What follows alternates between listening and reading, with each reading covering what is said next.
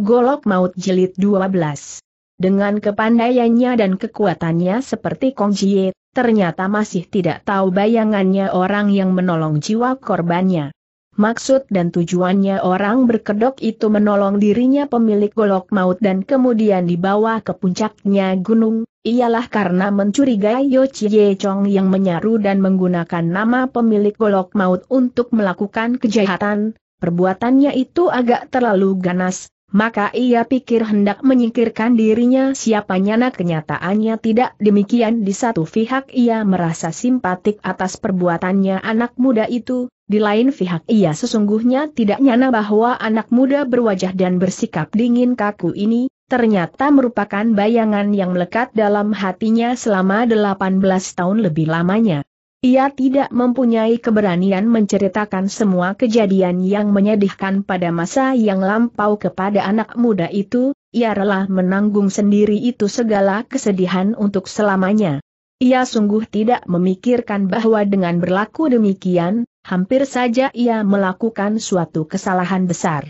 Yo Chie Chong dengan sikapnya yang menghormat sekali menyoja kepada orang berkedok merah itu, berkata, Bo Ampue mengucapkan banyak terima kasih atas budi Lo Chiampue yang telah memberikan pelajaran kepada Bo Ampue ini.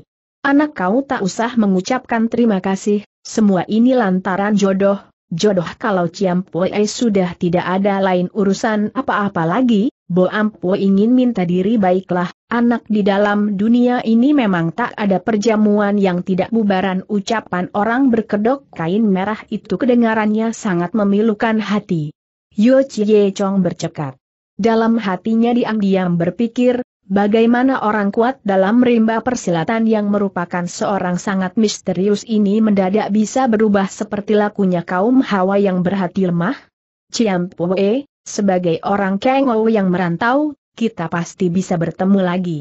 Ya, anak, pergilah harap kau bisa bawa dirimu baik-baik, kecuali untuk membalas dendam, paling baik jangan terlalu banyak melakukan pembunuhan terhadap jiwanya orang yang tidak berdosa, agar tidak berdosa kepada Tuhan.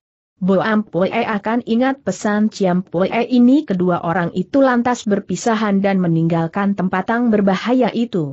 Tiga hari kemudian, pemilik golok maut yang sangat misterius dan menakutkan telah muncul di kota Tiang Soa. Kali ini, dalam waktu tiga hari saja sudah tiga orang kuat yang namanya cukup terkenal, telah binasa di bawah cincangannya golok maut. Yang pertama adalah Gou Leng Lam yang mempunyai gelar Cip Cie Sengkiam atau Dewa Pedang Jari Tujuh. Yang kedua adalah Si Bun Cuntek yang mempunyai gelar Burung Belibis. Ia adalah pemimpin kawanan bajak laut yang sering melakukan operasinya di daerah pengairan Telaga Tongteng. Tempat di mana ia menemukan ajalnya ialah di dalam salah satu kamar rumah penginapan yang paling mewah di kota Tiang Soa. Yang ketiga adalah Li Busia, yang mempunyai gelar Kiu Tian Hui Peng atau burung Raja Wali Terbang. Sejak munculnya golok maut di dunia Kangou sehingga pada saat itu, sudah ada sebelas orang kuat yang terkenal namanya baik di kalangan hitam maupun putih yang menjadi korban, tidak ada satu yang memberi perlawanan. Maka, kota Tiang Soa dalam waktu beberapa hari saja sudah menjadi pusat perhatiannya orang-orang dunia Kangou, Peristiwa ini sangat menggemparkan, lebih menggemparkan daripada yang sudah-sudah. Dalam waktu tiga hari mengambil tiga korban jiwa manusia kuat, suatu perbuatan yang mengejutkan. Orang-orang dunia Kengou dari pelbagai tempat berduyun-duyun menuju ke kota Tiang Soa, mereka mengharap bisa melihat wajah aslinya pemilik golok maut yang sangat kejam dan ganas itu, tapi ada juga yang mengundang lain maksud terutama bagi orang-orang yang dulu pernah ambil bagian dalam pembasmian perkumpulan Kamlopang, kejadian itu dirasakan seperti duri yang menancap di atas punggungnya. Manusia ganas itu satu hari saja belum disingkirkan, mereka selalu masih merasa tidak aman. Hari kedua tengah hari tepat pada waktu si Bun Cuntek menemukan ajalnya. Di Cheng Yang Chiulau, satu rumah besar di dalam kota Tiang Soa, nampak penuh sesak dengan tetamunya dari pelbagai tempat. Rumah makan yang bertingkat dua dan mempunyai tempat luas. Yang bisa menampung kurang lebih 30 orang itu, hampir tidak ada satu kursi yang kedapatan kosong. Cuma apa yang agak luar biasa, ialah tetamu-tetamu itu hampir semuanya terdiri dari orang-orang Kang Ou. Suara orang berbicara terdengar amat riuh, hampir semuanya membicarakan soal golok maut. Apakah golok maut itu sudah meninggalkan kota Tiang Soa, atau mencari korban lain lagi? Tidak ada seorang pun yang bisa dapat tahu. Mereka hanya menduga-duga saja secara sembarangan. Di salah satu meja pada suatu sudut dekat jendela, saat itu ada duduk seorang pemuda berwajah tampan tapi sikapnya dingin kecut, ia duduk seorang diri sambil minum dengan sikapnya yang tenang. Ia adalah Yo Chie Chong. Daftar nama musuh-musuhnya Kam Lopang yang berada padanya, kini tiga nama lagi sudah dihapus. Tapi ia masih belum merasa lega, sebab lima musuh besar yang tertulis di lembar pertama dengan nama singkatan IM, Yang, Siu, Kau Aye dan PO, hanya siluman tengkorak Perbin Chiang Sie Kuai Lui Bok Tong, yang sudah bertemu satu kali. Yang lainnya, bayangannya saja masih belum kelihatan. Musuh-musuh yang binasa di tangannya, di antara musuh-musuhnya Kam Lopang, merupakan orang-orang yang tidak berarti. Dapat dibayangkan sendiri betapa beratnya tugas Yo Chie Chong yang harus dipikul itu sekarang, hanya merupakan babak permulaan saja. Dengan sepasang matanya yang bersahaya, Yo Chie Chong memandang wajahnya setiap tetamu yang ada di rumah makan tersebut. Matanya segera dapat melihat lima laki-laki berbadan tegap yang duduk berkumpul di satu sudut dekat tembok orang-orang ini rasanya ia seperti pernah lihat, tapi entah di mana setelah ia putar otaknya sekian lama, ia baru ingat bahwa laki-laki itu adalah anak buahnya Pek Kleng Hwe. Orang-orangnya Pek Kleng Hwe sudah muncul di kota Tiang Soa, orangnya kedua Pang mungkin juga tidak ketinggalan. Dalam usahanya untuk menghadapi pemilik golok maut, Pek Kleng Hwe dengan kedua Pang, selalu bekerja bersama-sama. Ketua Pek Kleng Hwe dan kedua Pang, juga terdapat dalam daftar nama musuh-musuhnya Kam Lopang. Yo Chie Chong juga masih tidak lupakan perbuatan orang-orang itu ketika hendak membunuh dirinya di tepi Danau Naga.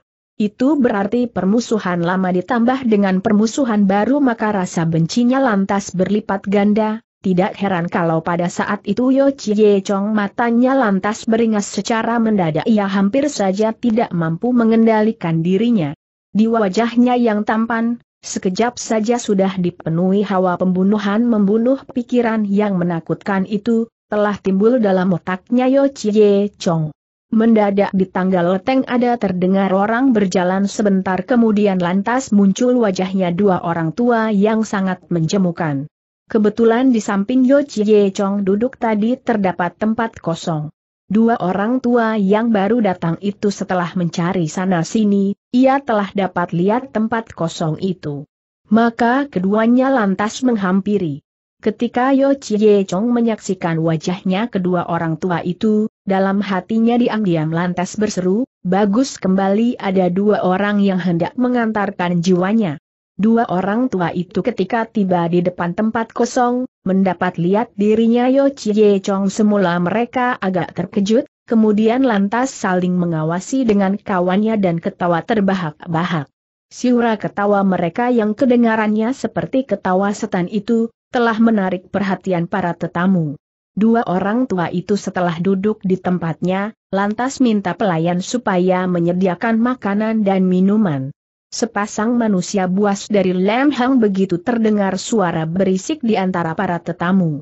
Oleh karena suara ketawanya sepasang manusia buas dari Lam Hang tadi, telah membual orang-orangnya Pek Leng Hwee dan kedua Pang, yang tadi tidak perhatikan dirinya Yo Chie Chong, kini telah mendapat lihat wajahnya anak muda itu, hingga mereka pada kasak kusuk, Entah apa yang dirundingkan tapi sudah tentu hal-hal yang mengenai dirinya anak muda itu. Meskipun mereka tidak mengetahui keadaan anak muda itu yang sebenarnya, tapi lima laki-laki dari Pek Leng Hwee itu nampaknya ambil perhatian besar terhadap dirinya Yo Chie Chong, karena mereka tahu benar bahwa anak muda itu adalah seorang yang dikehendaki benar oleh ketua mereka. Mendadak, Metu semua tetamu terbelalak memandang ke arah tangga loteng. Yo Chie Chong yang tertarik oleh keadaan demikian, matanya juga mengawasi ke arah tangga loteng. Di wajahnya yang kecut dingin, mendadak tertampak gembira. Dengan cepat ia berbangkit dari tempat duduknya dan lari menghampiri. Tetamu yang baru datang itu bukan lain daripada Tian San Liong Li Tohui Hang, itu pendekar wanita setengah umur yang berwajah cantik dan berkepandaian tinggi. Ia kelihatan berdiri celingukan, agaknya sedang mencari tempat kosong untuk tempat duduk. Tian San Liong, Li meski usianya sudah setengah tua, tapi kecantikannya masih bisa menggiurkan hatinya anak muda. Semua tetamu yang ada di situ, meski pada dibikin silau matanya oleh kecantikan Tian San Liong Li, tapi tidak ada yang berani berlaku ceriwis, karena namanya wanita gagah itu di kalangan Kang ada sangat terkenal dan ditakuti baik oleh orang golongan hitam maupun golongan putih. Apalagi mengingat suhunya berkepandaian sangat luar biasa, meski usianya sudah lebih dari 100 tahun, suatu keistimewaan bagi wanita gagah itu, di parasnya yang cantik, selamanya seperti diliputi oleh kabut kedukaan, namun tidak begitu nyata. Apakah sebab yang sebetulnya? Tidak ada seorang pun yang tahu.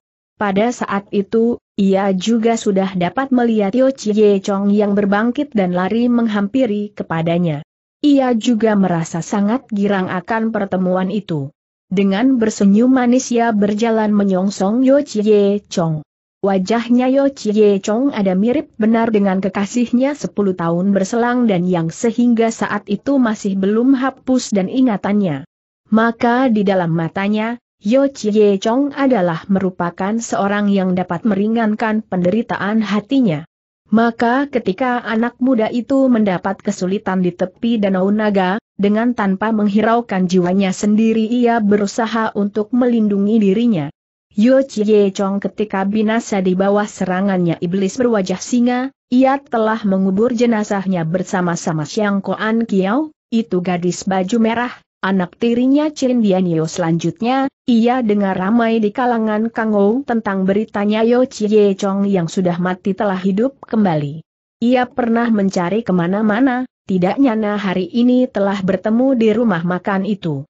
Begitu pula dilihatnya Yo Chie Chong, yang selalu berwajah kecut, ketika melihat dirinya Tian San Liong Li lantas menjadi girang, karena ia seolah-olah sudah bertemu dengan ibunya sendiri.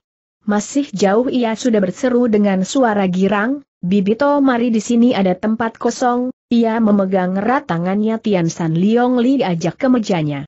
Ia memang duduk dan minum seorang diri saja, kedatangan Tian San Liong Li ada sangat kebetulan. Tian San Liong Li setelah duduk di kursinya depan Yo Chie Chong, ia mengawasi wajahnya anak muda itu sejenak baru berkata, Anak sungguh tidak dinyana aku bisa bertemu lagi dengan kau terima kasih atas perhatian Bibi, Bo Ampoe juga selalu ingat diri Bibi. Dua manusia dari Lam Hang yang telah dapat melihat Yo Chie Chong, dalam hati mereka sudah menganggap bahwa itu ada satu kesempatan yang paling baik yang diberikan oleh Tian ternyata mereka masih belum melupakan mustika Guliong Kau yang berada di dalam perutnya Yo Chie Chong. Tapi kini, mereka lihat dirinya Tian San Liong Liang duduk di satu meja dengan Yo Chie Chong, dalam hati merasa cemas dan sangat gelisah. Lotoa yang tua dari kedua manusia buas itu duduk membelakangi Yo Chie Chong, maka tidak dapat dilihat bagaimana sikapnya. Tapi Lo Jie, adiknya, ada duduk berhadapan dengan Yo Chie Chong. Dengan matanya yang seperti mata tikus, Lo Jie terus mengawasi Yo Chie Chong dengan tanpa berkedip. Sikapnya manusia buas yang demikian itu, bagi Yo Chie Chong sudah tidak asing lagi. Ketika kawanan manusia iblis berebutan hendak membelek perutnya di tepinya danau naga, ia sudah banyak melihat sikap demikian itu. Itu ada satu sikap kombinasi antara kejahatan, kekejaman dan ketemahaan. Yo Chie Chong yang dibikin sebab oleh sikap demikian itu otomatis wajahnya menjadi dingin kecut lagi.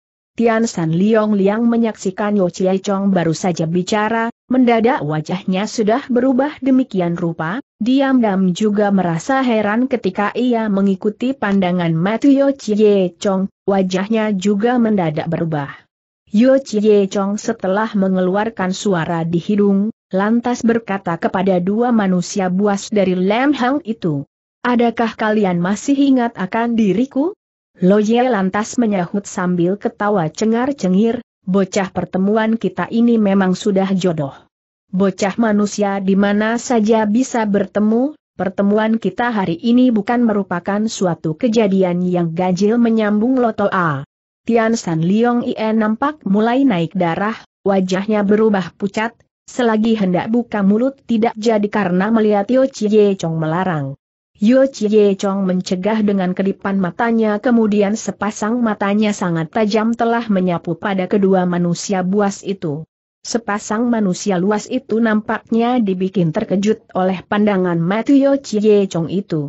Dalam hati mereka diam-diam berpikir, heran, bocah ini yang baru saja dua bulan tidak ketemu, sekarang seolah-olah sudah berubah menjadi lain keadaannya.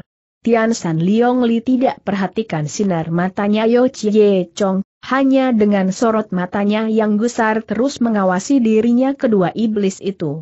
Ia sudah tahu benar kejahatan dan kebuasannya kedua manusia itu.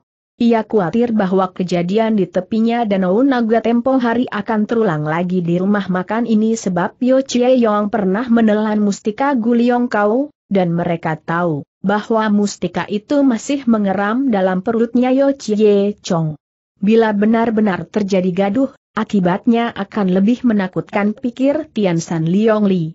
Sudah tentu Tian San Liong Li tidak tahu kalau keadaannya Yo Chie Chong pada saat itu, ada sangat berlainan dengan Yo Chie Chong pada tempo hari.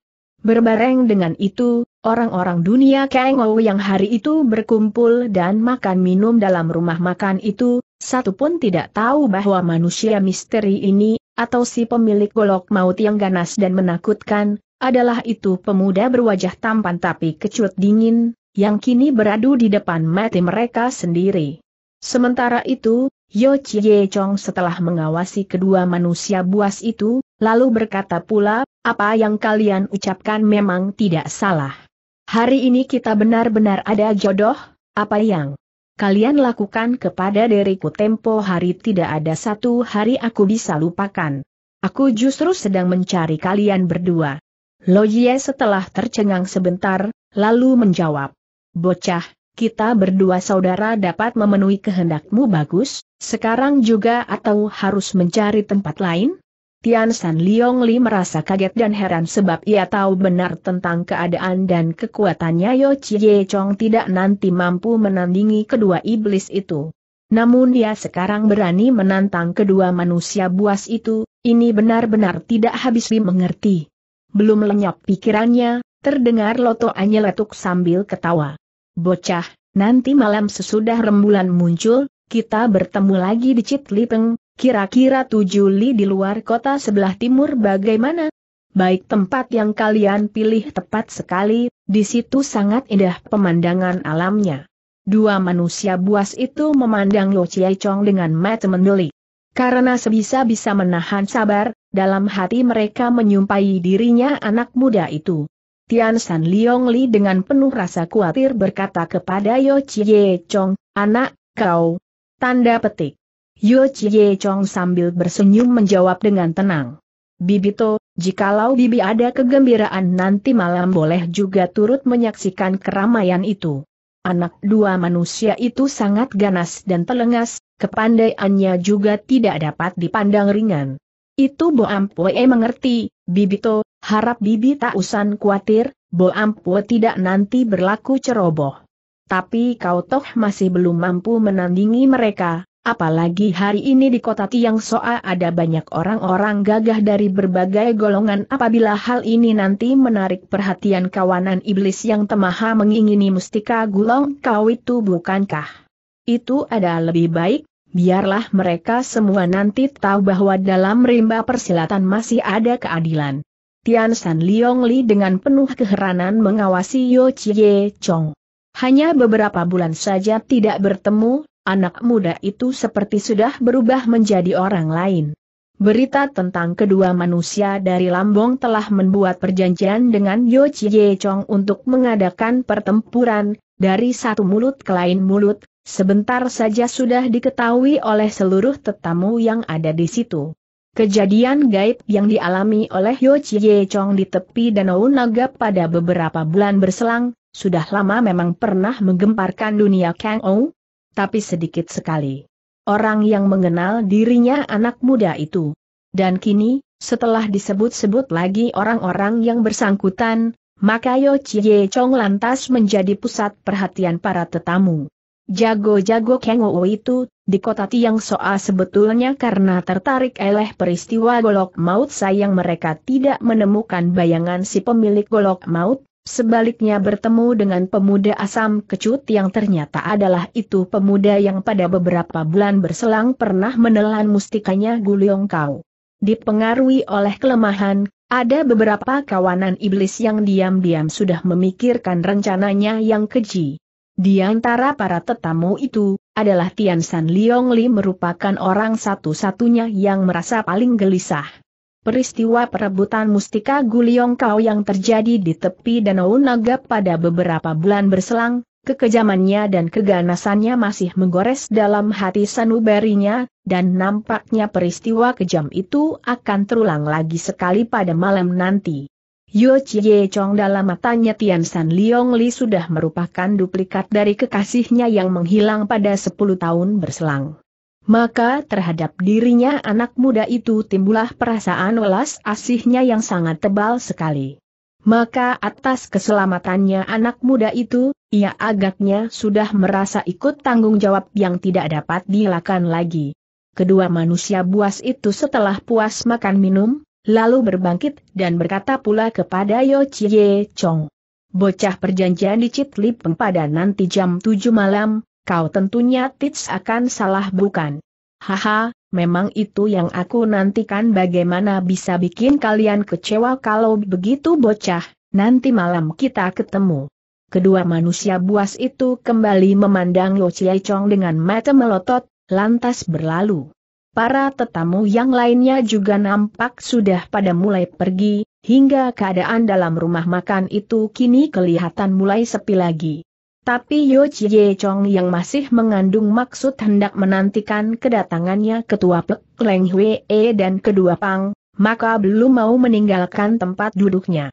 Ia tetap duduk sambil minum dengan sabar, seolah-olah tukang berburu yang menantikan mangsanya. Tapi sebegitu lamanya, Kecuali itu lima orang dari Pek Leng Hwee, sudah tidak kelihatan orang lain yang datang lagi.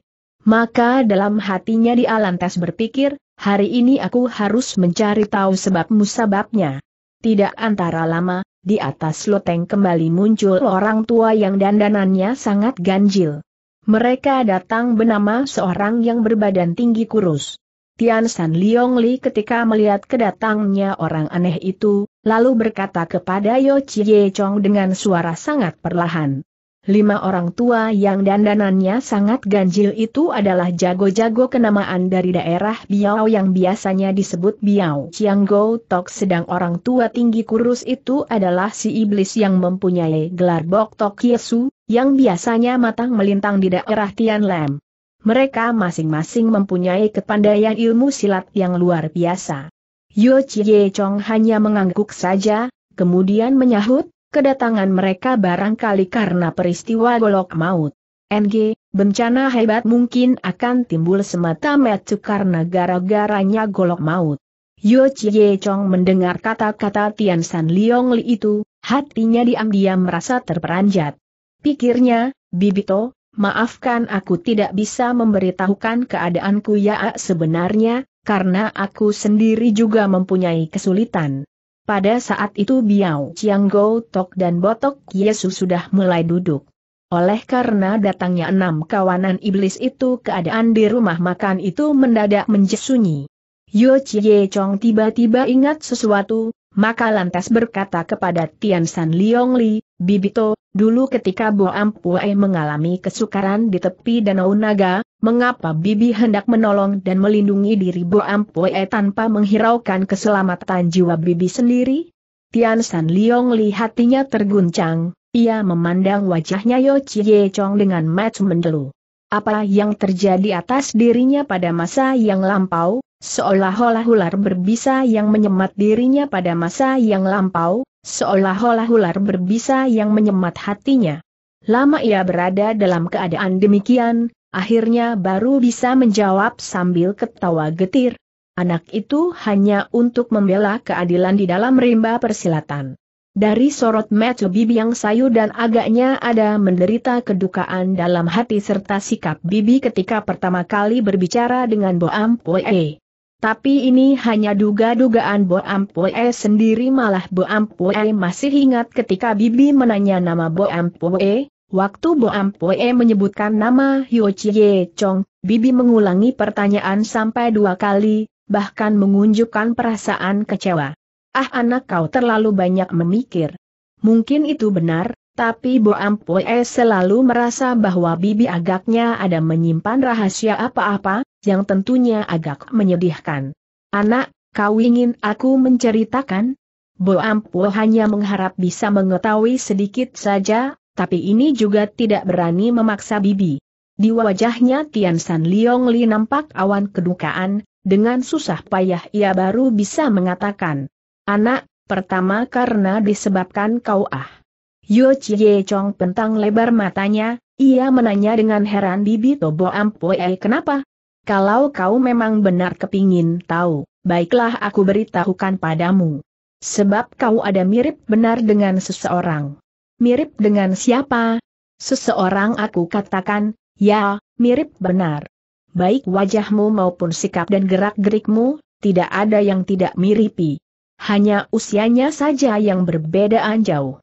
Orang itu tentunya ada mempunyai hubungan erat sekali dengan Bibi. Tian San Liong Li wajahnya mendadak berubah merah, ia anggukan kepalanya, sebagai jawaban. Bibito, dia itu siapa? Anak, Adakah kau pernah dengar nama julukan Giok Bin Kiam Hek jago pedang berwajah kumala? Yo Chie Chong agaknya merasa tertarik dengan penuturan bibinya, maka ia lantas menanya pula, Bo Ampoe mirip dengan dia? Benar mirip sekali. Dan sekarang, di mana orangnya? Hilang tanpa kabar ceritanya, mungkin juga sudah binasa sepuluh tahun berselang, peristiwa hebat telah menimpa dirinya. Peristiwa hebat apa? Anak pertanyaanmu sudah cukup banyak. Yo Chie Chong yang tidak ketahuan asal-usulnya, asal ada apa-apa yang mungkin ada hubungannya dengan dirinya sendiri, ia tidak mau lepaskan begitu saja. Ketika ia mendengar cerita Bibi Tonya yang nampaknya ada mengandung rahasia besar, lantas tunjukkan perhatian sepenuhnya. Tian San Liong Li agaknya juga terpengaruh perasaannya, setelah pikirannya tenang kembali, ia baru bisa berkata lagi, aku bisa beritahukan sedikit saja padamu. Silahkan. Dia adalah muridnya Leng Hang dari Siga itu manusia gaib dalam rimba persilatan serta merupakan satu orang kuat nomor satu di dalam dunia.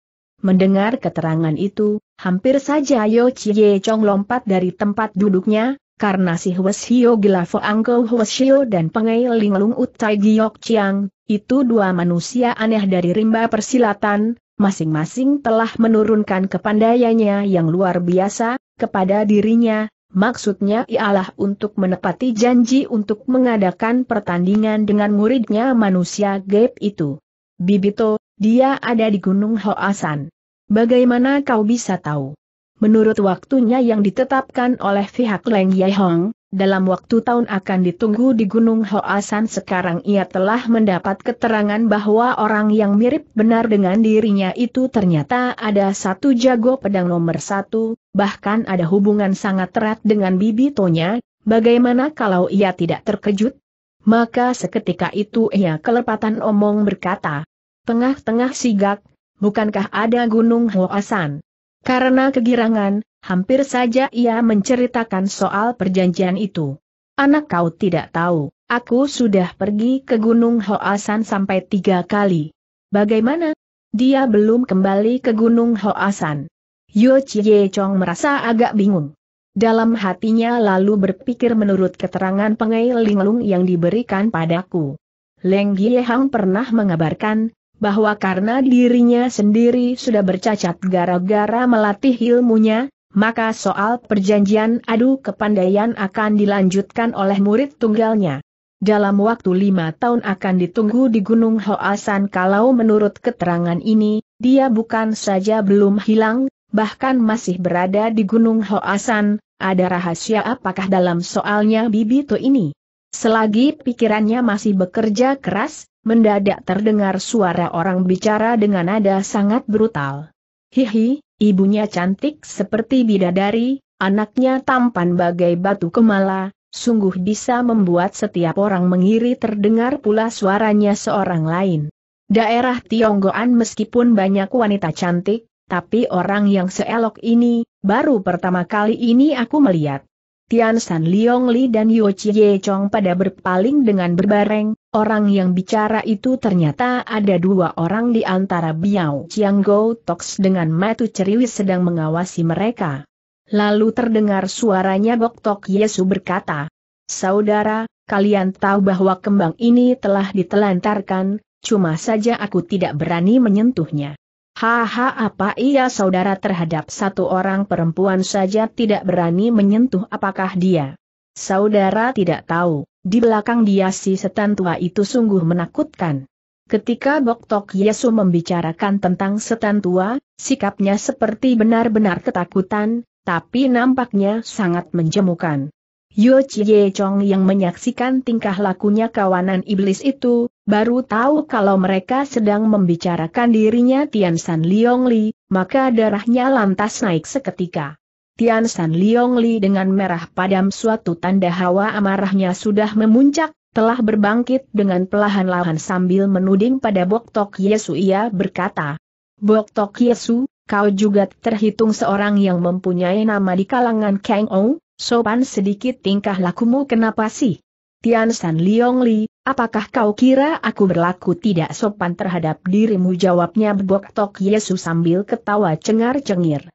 Biao Chiang Go Tok juga lantas perdengarkan suara ketawa yang menyebalkan. Yo Chio Chong dengan mata beringas, menggeram. Segala kawanan kurcaci dari daerah luar, juga berani jual lagak di daerah Tionggoan. Biao Chiang Go, Tok ketika mendengar ucapan Yo Chie Chong, matanya lantas melotot dan berbangkit dari tempat duduknya satu di antaranya dengan suaranya yang aneh membentak. Bocah, apakah sudah bosan hidup? Suasana di rumah makan kini mendadak menjadi tegang. Para tetamu yang tabah dan masih belum berlalu, semua pada pasang metu untuk menonton, sedang para pelayan yang bernyali kecil, sudah pada lari kalang kabutan.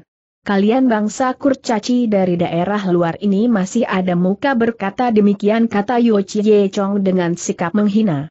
Biao Chiang Go Tok pada berubah wajahnya, bukan kepala ngerasa gusarnya, sehingga wajahnya merah padam, badannya gemetaran.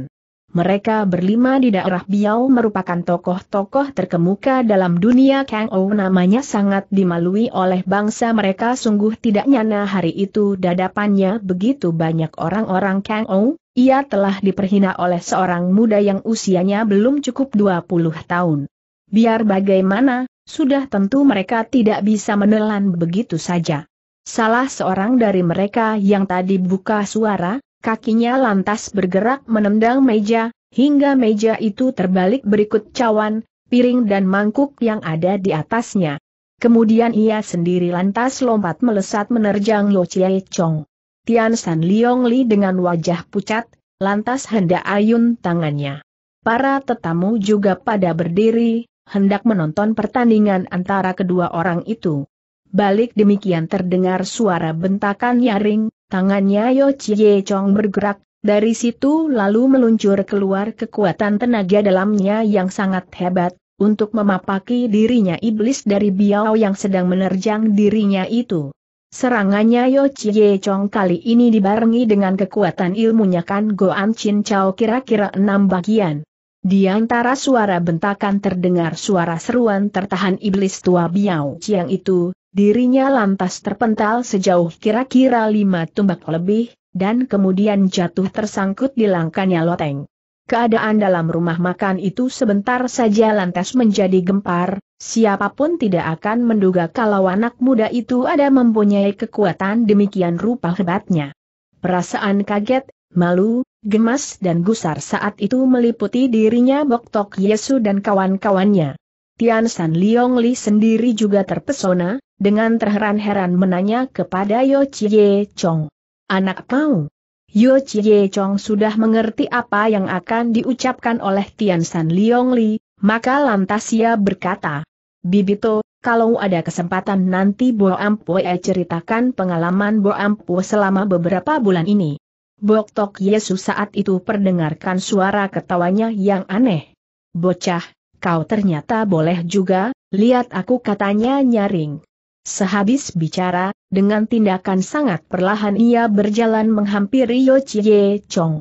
Biao Chiang Go Tok termasuk orang yang dibikin jatuh tadi, semua lantas maju bersama-sama Bok Tok Yesu, mereka mengawasi Yo Chie Chong dengan sorot mata buas. Yo Chie Chong masih tetap dengan sikapnya yang dingin, Berdiri di tempatnya dengan tanpa bergerak barang sedikit sikapnya yang jantan itu membuat orang melongo dan kuncut nyalinya. Ketika Biao Chiang Go Tok berjalan sampai di depan Yo Chie Chong, mendadak lantas berhenti. Lengan baju lima iblis itu tiba-tiba bergoyang, tapi sebentar saja sudah pulih kembali seperti biasa.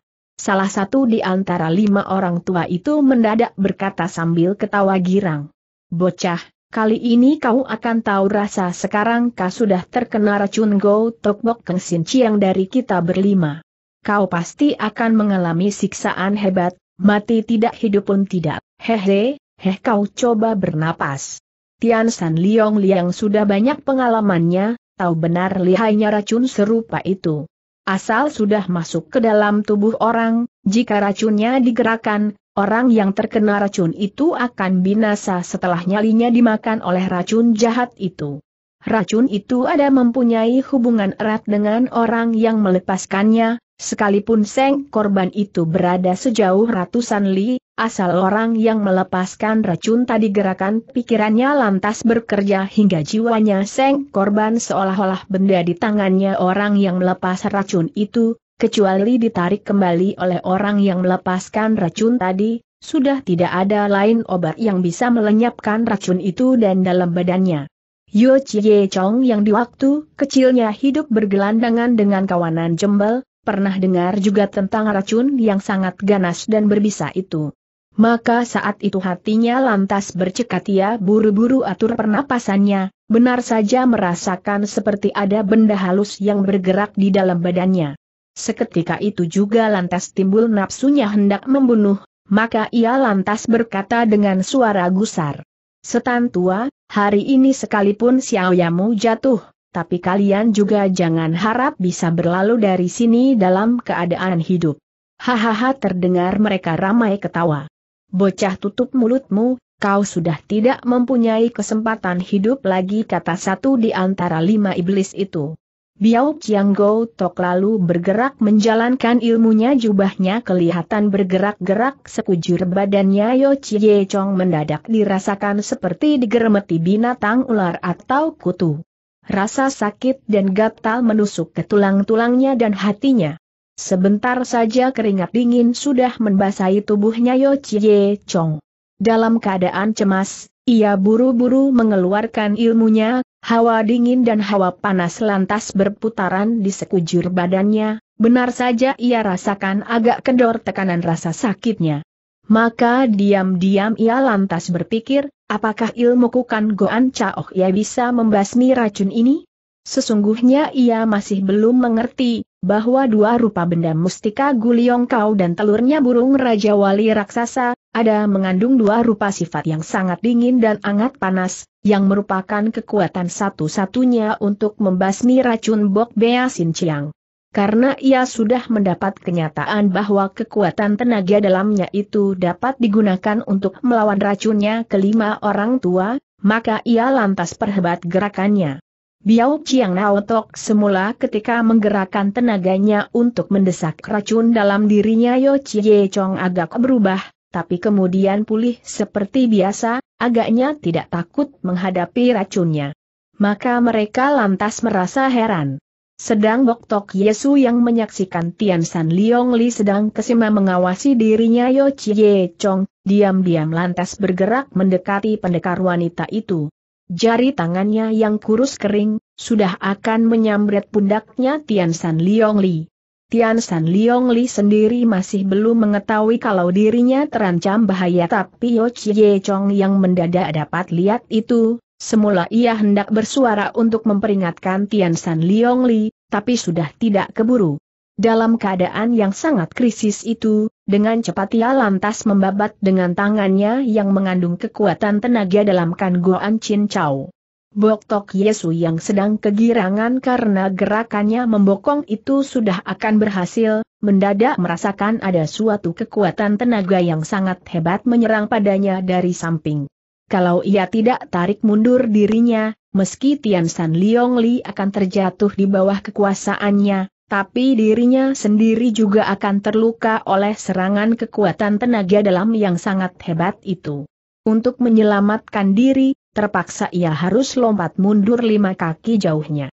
Tian San Liong Li kini sudah tahu kalau dirinya sedang terancam, maka lantas menghunus pedangnya, dengan cepat menyerang dirinya Bok Tok Yesu.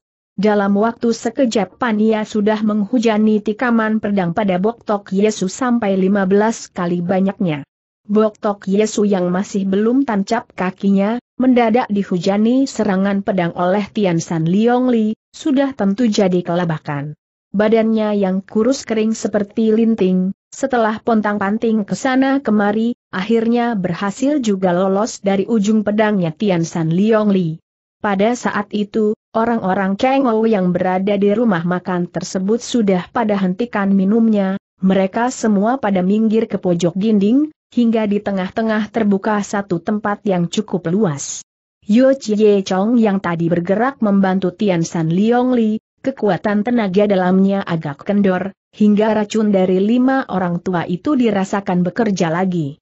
Ia sekarang sudah merasa benci sekali terhadap lima orang tua dari daerah Biao itu, maka ia gunakan seluruh kekuatan tenaga dalamnya untuk mengusir racun di dalam badannya. Usahanya itu berhasil bukan saja rasa sakitnya lantas lenyap seketika, bahkan semangatnya bertambah meluap-luap.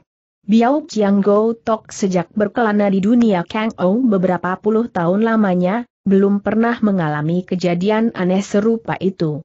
Meski mereka menggerakkan tenaganya sepenuhnya, tapi lawannya itu tetap seperti tidak pernah mengalami kejadian apa-apa. Maka mereka diam-diam lantas merasa jerih dan bergidik. Racun Bok Heng Sin Chiang itu ada berhubungan erat dengan orangnya yang melepaskan racun itu. Maka jika racun itu musnah, jiwanya orang yang melepaskan juga turut musnah oleh karena Yo Chie Chong melancarkan serangan tenaga dalamnya dengan sepenuh tenaga, maka racun yang masuk ke dalam badannya, perlahan-lahan sudah tidak bisa bertahan lebih lama lagi jika orang tua tidak lekas-lekas tarik kembali, maka mereka juga akan terbinasa. Biao Chiang Go Tok saat itu sudah mengetahui keadaan tidak menguntungkan maka lantas tarik kembali racunnya. Berbareng dengan itu, secepat kilat mereka mengirim serangannya kepada diri Yo Chie Chong.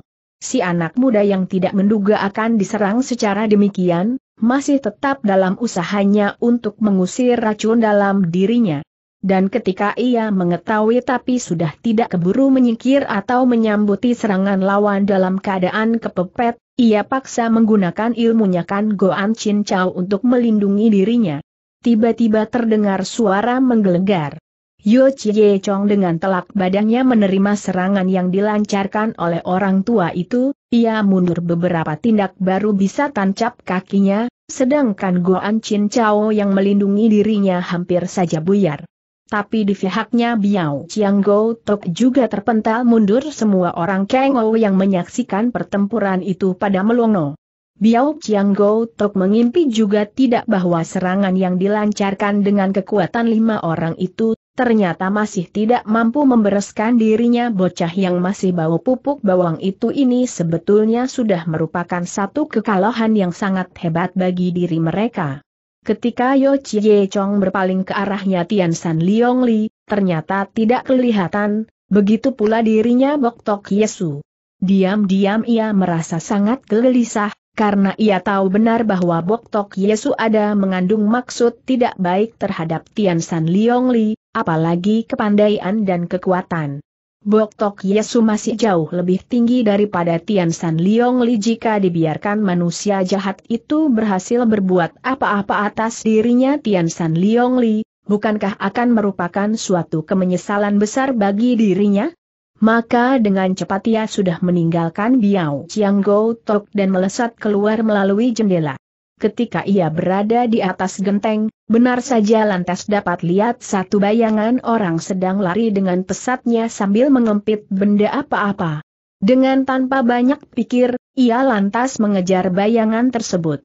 Di belakang dirinya saat itu terdengar suaranya Biao Chiang Go Tok yang memaki-maki kalang kabutan. Tapi karena mengingat keselamatan dirinya Tian San Liong Li terhadap lima orang tua ini, ia tidak mau ambil pusing lagi. Maka sebentar saja kelima orang tua itu sudah ketinggalan jauh. Yo Chie Chong dengan seluruh kepandaiannya, bergerak secepat meluncurnya anak panah yang terlepas dari busurnya. Bayangan orang yang dikejar itu sebentar kelihatan sudah melalui tembok kota dan lari menuju ke dalam rimba lebat.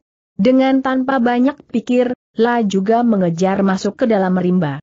Rimba itu ternyata sangat lebat, betapapun hebatnya daya lihatnya, juga tidak mampu menembusi sejarak tiga tumbak jauhnya. Ditambah lagi dengan keadaannya yang gelap dan suara angin yang kencang meniup, telah menghalangi suara lainnya, maka ia juga tidak mampu mencari jejak orang tadi dengan menggunakan telinganya. Yo Chie Chong hatinya cemas tidak dapat lihat apa-apa. Terpaksa ia mencari-cari tanpa tujuan, kakinya digerakkan perlahan-lahan, tapi mata dan telinganya terus dipasang. Mendadak ia dapat menangkap satu suara aneh. Dalam kagetnya ia pasang telinganya. Suara itu seperti suaranya orang ketawa. Untung Yo Chie Chong ada seorang berkepandaian tinggi, kalau buat lain orang, mungkin tidak mendengar suara itu. Ia dengar dengan seksama, suara itu keluar dari sebelah kirinya. Dengan tanpa mengeluarkan suara barang sedikit, Yo Chie Chong maju menghampiri. Apa yang ia lihat hampir saja dadanya meledak nafsunya membunuh telah berkobar seketika. Astaga! Tian San Liong Li nampak rebah terlentang, baju bagian dadanya sudah robek hingga kelihatan badannya yang putih meletak. Bok Tok Yesus sedang jongkok mengawasi bakal korbannya sambil ketawa bergelak. Yo Chie Chong baru saja hendak turun tangan, tiba-tiba hatinya berpikir. Kalau aku majukan diri dalam keadaan sebenarnya, bukankah Bibito nanti malu menemui aku lagi, mengapa aku tidak berbuat? Dengan cepat ia keluarkan kedoknya, tangan kirinya dimasukkan dalam lengan bajunya, hingga kelihatan seperti kutung. Bok Tok Yesus seperti orang yang sudah lupa daratan, sambil ketawa bergelak-gelak, ia berkata, Tian San Liong Li aku Bok Tok Yesus ada mempunyai kepandaian luar biasa, aku tanggung. Kau akan mendapat kepuasan, hahaha. Tian San Liong Li mendadak buka matanya, ia mengawasi manusia biadab itu dengan sorot matanya sangat gusar, tapi apa daya? Ia sudah tertotok jalan darahnya, ia tidak berdaya memberi perlawanan ia gelisah ketika tangan Bok Tok Yesu menggerayangi dan hendak memeluknya. Dalam saat yang sangat berbahaya itu, mendadak ada suara orang mengerang. Bok Tok Yesu sungguh tidak nyana bahwa dalam keadaan demikian ada orang yang datang itu nampaknya ada mempunyai kepandaian tinggi sekali. Bok Tok Yesu di daerah Tian Lam juga merupakan salah satu orang terkuat, kepandaian tidak boleh dipandang ringan. Bok Tok Yesu urungkan maksud kejahnya dan geser kakinya ke samping.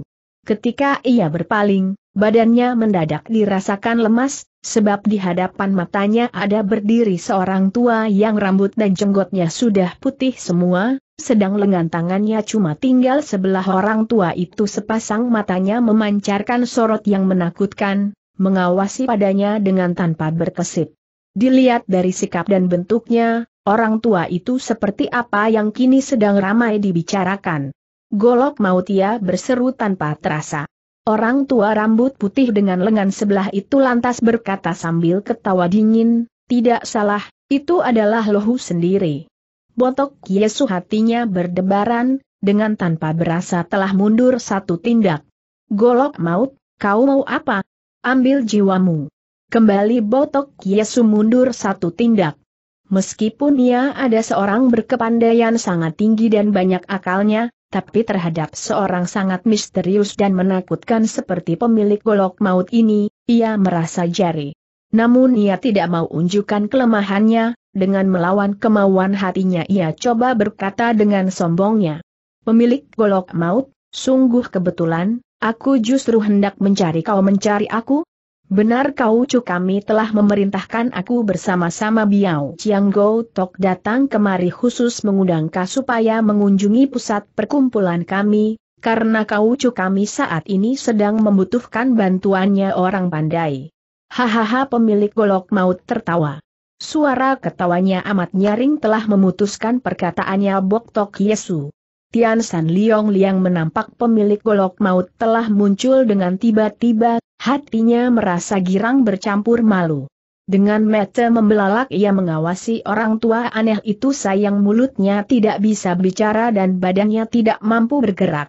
Pemilik golok maut setelah puas dengan ketawanya, lalu berkata, Bok Tok Yesu, apa kau juga sudah masuk menjadi anggota perkumpulan Imo kau ya? bahkan aku sudah diangkat sebagai tongcu bagian Cheng Liong Tong, kalau bukan. Pemilik golok maut itu, yang bukan lain adalah Yo Chie Chong sendiri, dalam hatinya lantas berpikir, aku dengan Imo kau tidak mempunyai sangkut paut apa-apa, mengapa kau cunya mengutus begitu banyak anak buahnya yang terkuat untuk mengejar-ngejar aku sambil pelototkan matanya, ia potong bicaranya Bok Tok Yesu, Bok Tok Yesu kau ingin mampus atau ingin hidup? Apa artinya pertanyaan Chuan ini? Kalau kau masih kepingin hidup, jawablah terus terang pertanyaanku, hari ini aku akan lepaskan kau dalam keadaan hidup. Dan kalau ingin mampus, mudah sekali, aku sekarang juga bisa kirim jiwamu ke neraka, supaya kau tidak bisa berbuat kejahatan lagi di kalangan Kang Ou.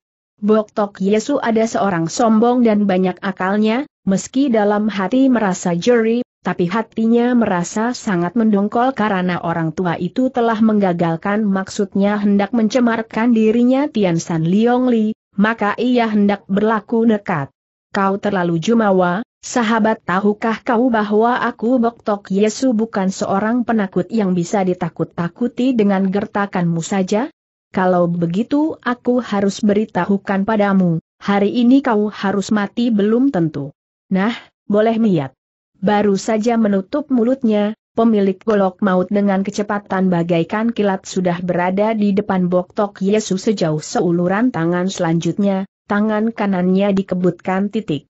Boktok Yesus belum sempat memikir, beberapa bagian jalan darah di badannya tahu-tahu sudah merasa kesemutan karena kena tertotok.